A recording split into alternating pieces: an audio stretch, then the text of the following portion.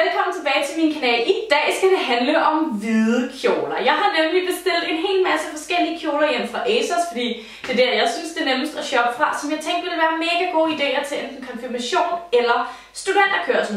Jeg havde egentlig oprindeligt tænkt, at den her video udelukkende skulle handle om konfirmation, øh, men da jeg viste min lille søster kjoler det her forleden, så, så sagde hun til mig, men Cecilia, nogle af de her måske lidt voksne til at være øh, konfirmationskjoler, og det kan jeg egentlig godt se, øh, hvad hun mener. Jeg havde måske lige været lidt ude af trit med, øh, hvad konfirmation går ud på. Så jeg har valgt at lave en mixet video i dag omkring en masse fine hvide kjoler, som især er gode til konfirmation eller til studenterkørsel. De her kjoler kan selvfølgelig også bare bruges som helt almindelige fine sommerkjoler. Det har nemlig været rigtig vigtigt for mig i den her video at sørge for, at de kjoler, jeg har udvalgt, ikke er engangskjoler, fordi jeg synes, det er synd, jeg synes, det spilder penge, og jeg synes lidt, det er noget miljøsvinderi, at man køber en kjole, man kun bruger én gang. Så jeg har forsøgt at, at finde nogle kjoler, som jeg synes, at man også kan bruge fremadrettet efter den store dag, og så har de jo selvfølgelig noget affektionsværdi. Så lad os bare se at komme i gang.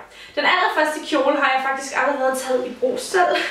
så der er sgu egentlig kommet lidt makeup på kraven, hvilket er sådan lidt, lidt akavet. Øh, men jeg har faktisk fundet et trick med at binde et silketørklæde rundt om øh, den nederdel af mit ansigt, som som regel er det, der rammer kjolen. Det havde jeg så bare lige glemt at gøre med den her, fordi jeg havde den på i byen her forleden. Så da jeg kom hjem, så hævde jeg den bare af. Men det er den her mega flotte øh, sådan lidt knækket hvid kjole. Den her kjole er fra mærket med Selfridge. Den har en forholdsvis høj hals, og så er den også rimelig kort i det.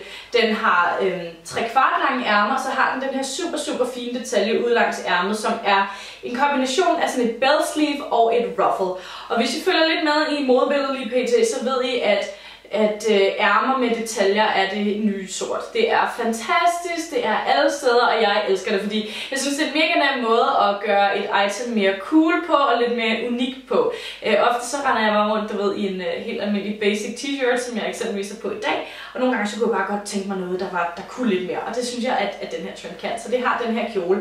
Jeg havde den som sagt på øh, til cocktails her forleden, og jeg synes, at den her kjole er helt, helt fantastisk. Jeg synes både, at den kan bruges til konfirmation og til studenterkørsel. Øh, fordi den er hverdagsagtig, men på en finere måde. Den kan dresses op lidt sexy, den kan dresses ned med sneakers, den kan bare det hele. Og øh, det her det er en kjole, jeg glæder mig til at bruge rigtig, rigtig meget fremover. Den næste kjole, jeg vil vise jer, er en ærmeløs sag med en lidt 20'er-agtig vibe over sig, fordi den har et, øh, en lav øh, syning eller en lav hofte. Den ser sådan her ud, og det er en blonde kjole, og jeg synes, jeg må heller lige huske at sige, at de, alle de her kjoler koster alle sammen under 700 kroner, da jeg bestilte dem inden fra ASOS. Så det er, mange af dem er super budgetvenlige, og nogle af dem er sådan mere mid-range, omkring 650 kroner. Det synes jeg er meget, meget rimeligt for enten en studenterkjole eller en øh, konfirmationskjole, som jo er dage, hvor man måske dresser lidt finere, end man normalt gør. Men jeg ville som sagt gerne lave en video om kjoler, man kan bruge fremadrettet, og som også passer til øh, alle budgetter. Den her kjole synes jeg ser langt dyrere ud, end, øh, end, end hvad den er. Den er fra et mærke, der hedder Warehouse. Og som I kan se, så har den en forholdsvis høj hals igen. Så har den den her ærmeløse udskæring og en bred strop for oven, hvilket jeg synes er ret cool. Og så har den som sagt den her lave syning, som ender ud i et lidt puffet skørt, hvilket jeg synes er mega, mega cool. Selve kvaliteten af den her kjole er ekstremt tyk, og den føles meget dyrere, end den egentlig er, hvilket er helt fantastisk. Jeg elsker det her blonde mønster. Jeg elsker, at den er young og cute, men uden at være for sådan baby doll-agtig. Jeg mener helt klart, at man sagtens kan bruge den her efterfølgende efter en en, øh, en eventuel konfirmation. Jeg synes, det her kunne være en perfekt konfirmationskjole, fordi den er sådan ret moderne i det. Jeg kunne sagtens se den være super fin til nogle sandaler. Og jeg synes også, den er sådan lidt, lidt danseagtig, og den er bare young på den rigtig, rigtig, rigtig fine måde. Det her, det er så fin en kjole, og øh, jeg er mega vild med den. Og så kan jeg også godt lide, at den ikke sådan er alt for lang. Altså reference, så er alle de her kjoler undtagen en i størrelse small. Alle de her kjoler vil være linket nede i beskrivelsesboksen, men det irriterende ved ASOS er, at de har sgu lidt lang levering, samtidig med, at der var nogle dage, hvor jeg ikke lige kunne få det filmet, så jeg beder til, at alle kjolerne er en stok.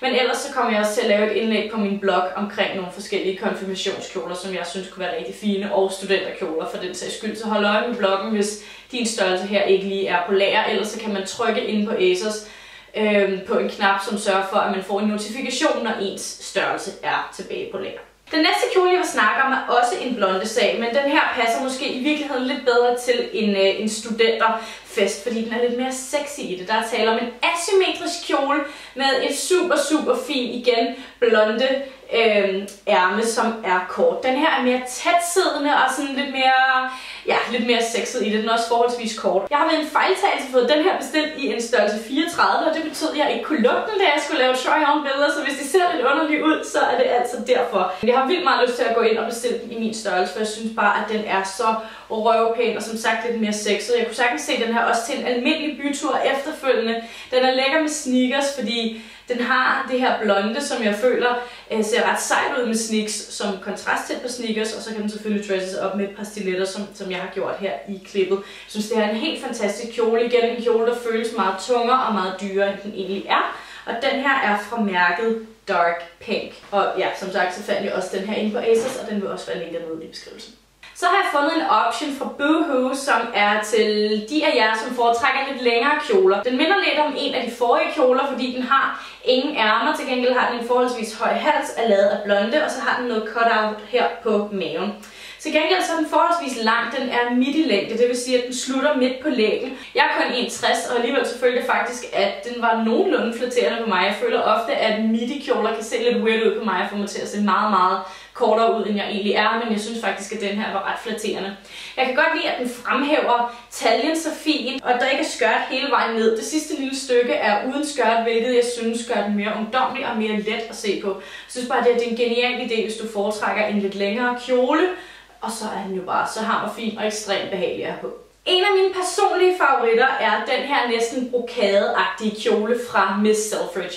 Den har en off-shoulder effekt, øh, så du viser begge skuldre, og så er der to store fine sløjfer ude på siden.